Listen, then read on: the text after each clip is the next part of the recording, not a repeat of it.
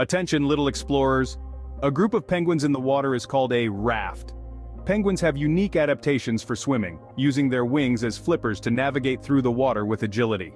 Their social nature and remarkable aquatic skills make them both adorable and fascinating creatures to learn about. What do you think about this cute fact about these social birds? Explore the universe with Mr. Mindblower.